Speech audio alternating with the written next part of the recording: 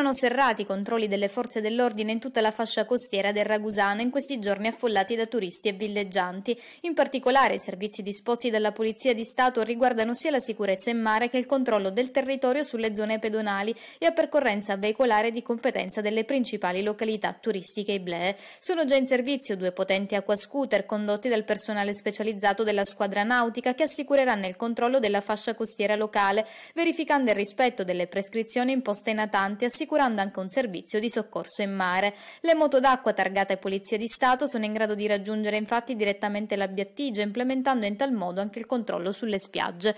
Due poliziotti a bordo di speciali biciclette invece controlleranno le zone pedonali di Marina di Ragusa, avendo la possibilità di vigilare più agevolmente le zone più affollate.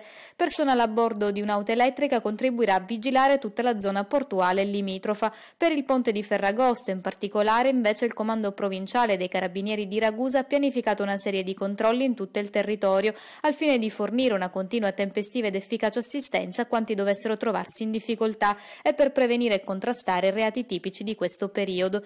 Sono state rinforzate le pattuglie soprattutto nelle ore notturne per la prevenzione dei furti in appartamento e delle rapine. Sarà alta l'attenzione nelle zone della Movide e su tutta la fascia costiera. In supporto all'unità di terra è stato anche predisposto l'intervento dei natanti dell'arma per assicurare che la navigazione avvenga in condizioni di sicurezza. I carabinieri saranno poi impegnati nei vari servizi sulle spiagge al fine di prevenire e reprimere il fenomeno del campeggio abusivo e dei falò di Ferragosto che ogni anno puntualmente si ripropone. Prevista inoltre un'unità antiborseggio nei luoghi turistici ed appositi controlli agli esercizi commerciali per verificare il possesso delle previste autorizzazioni per lo svolgimento delle attività. La città semivuota, con tutto chiuso, è sempre più un ricordo. Ormai in quasi tutti i centri cittadini lo scenario estivo e del mese di agosto in particolare è cambiato. Parcheggi semipieni, bancarelle del mercato affollate, saracinesche alzate. Sempre più persone bypassano le vacanze estive per optare per altri periodi dell'anno più abbordabili o riducono i giorni di vacanza restando più tempo in città. Lo stesso discorso vale per i commercianti, è sempre più raro vedere sulle vetrine i cartelli con le date di inizio e di fine ferie. E quante emerge da un'indagine di Confcommercio che parla di tendenza al sempre aperto, dimostrata dalla contrazione del periodo di chiusura dei negozi al dettaglio.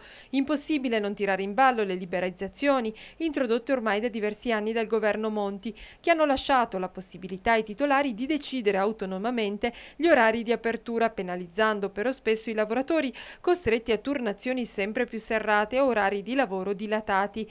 Per chi resta in città però la comodità di trovare tutti i servizi sempre aperti, servizi a 360 gradi, dalla ristorazione all'estetica, dai centri commerciali alle piccole botteghe, saracinesche aperte anche per le farmacie, cambiati i tempi e i ritmi vacanzieri anche per gli esercizi commerciali si adeguano. Un'indagine di Confcommercio Catania ha stabilito in definitiva che le saracinesche attive in territorio catanese saranno almeno del 50%, ancora di più nelle zone turistiche dove ovviamente si cerca di intercettare i turisti che puntano al Made in Italy.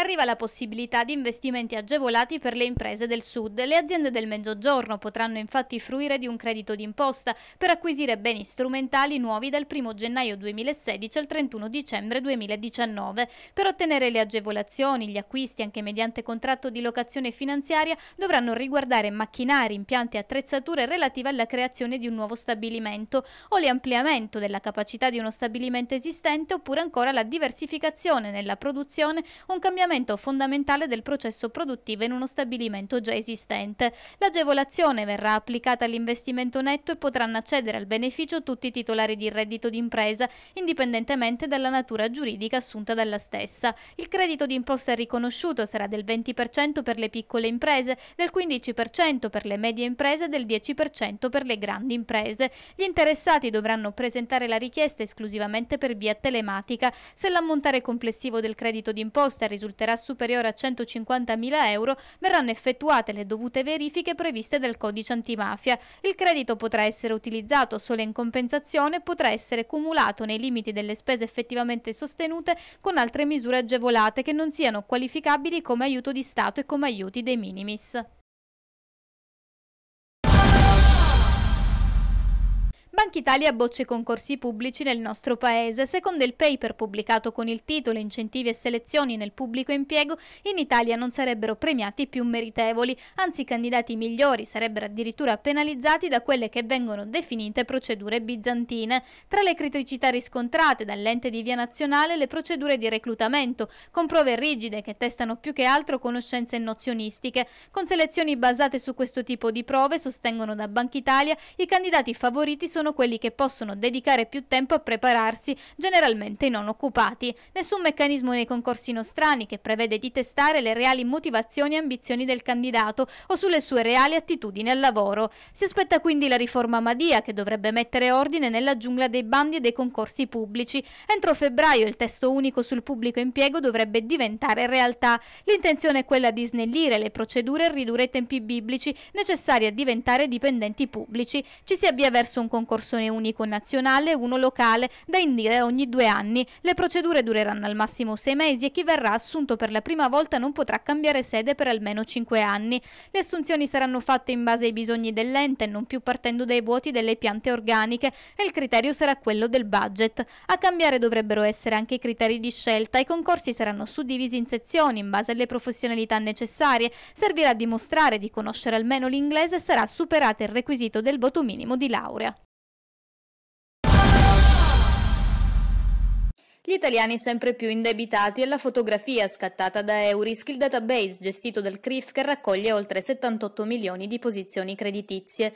Il 34% della popolazione maggiorenne ha almeno un contratto di credito rateale attivo tra mutui, prestiti finalizzati e prestiti personali. In media per auto, case e vacanze l'italiano sborsa circa 360 euro. Ancora una volta lo studio mette in luce la distanza tra nord e mezzogiorno. Apparentemente infatti le regioni del sud risultano meno indebitate indebitate. La nostra Sicilia, ad esempio, si classifica solo al diciottesimo posto e tra le cinque province meno indebitate di tutta Italia due sono sicule, Enne ed Agrigento. Certo in Sicilia e al sud in genere si deve considerare un dato non trascurabile che è quello dell'economia sommersa. Ma il quadro non sarebbe del tutto negativo. Secondo Antonio Patuelli, il presidente dell'ABI, la crescita dell'indebitamento non sarebbe necessariamente figlia della crisi economica e anzi potrebbe rappresentare una possibile ripresa, l'indicatore di una nascente speranza nel futuro e una maggiore predisposizione a spendere, fiduciosi di poter onorare gli impegni finanziari, complice anche la ripresa economica che al sud sta interessando soprattutto gli ambiti del turismo e dell'agricoltura.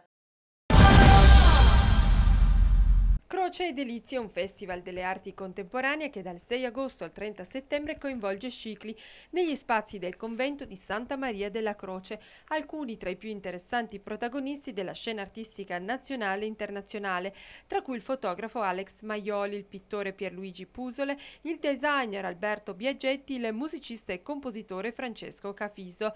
Il corpus principale del festival, diretto da Nunzio Massimo Nifosi, filmmaker artista visivo, è costituito da natura nature variabili, un progetto espositivo e di residenze artistiche dallo spirito multidisciplinare, curato da Giusidiane Giuseppe Frazzetto, che unisce artisti di diversa formazione, pittori, scultori, designer, musicisti, videoartisti, filmmaker, performer e fotografi intorno alla presenza della natura maestosa e sublime degli Iblei. Lo storico complesso monumentale del convento di Santa Maria della Croce in Scicli della prima metà del XVI secolo che domina dall'alto il paesaggio circostante circostante con i suoi due chiostri, le sale, la chiesa, l'oratorio, le scuderie e gli ambienti delle celle e il suggestivo luogo scelto per accogliere le opere degli otto artisti sciclitani, anche se alcuni di loro vivono e lavorano a New York, Modica, Roma e Milano, ma restano fortemente legati a Scicli. Si è cominciato sabato 6 agosto con la musica jazz di Francesco Cafiso e l'avvio del primo progetto espositivo.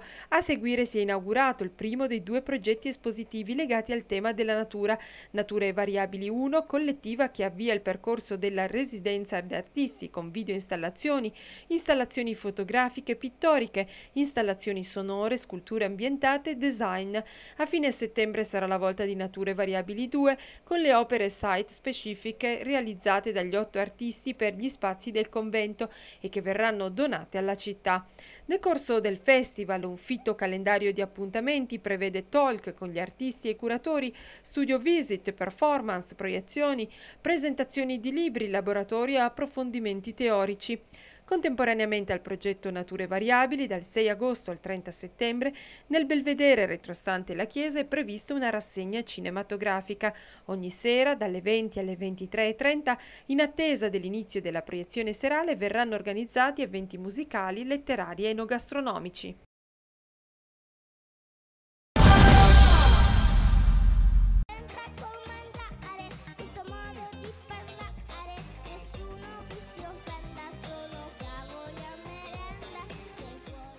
Si è concluso il Festival Canoro Internazionale Voci dal Sud con una vittoria tutta modicana. La piccola Flavia Garofalo aveva mosso i suoi primi passi canori proprio negli studi di Canale 74, partecipando e superando il casting per le selezioni all'ammissione al festival tenuto da Peppe Mavilla. Quindi Flavia ha poi superato le semifinali di San Cataldo del 27 luglio, accedendo alla finale e vincendo il titolo della categoria junior.